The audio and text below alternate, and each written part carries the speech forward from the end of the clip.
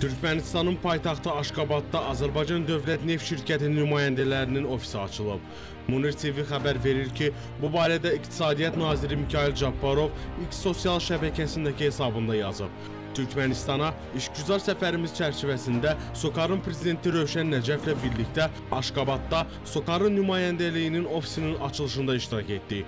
Bu təşəbbüs şirkətin Türkmenistanda uzun müddətli fəaliyyətinin möhkəmləndirilməsinə, ölkələrimizin energetika sahəsində ortaq maraqlarının reallaşmasına inamın təzahürüdür, deyə Mikhail Cabbarov bildirib.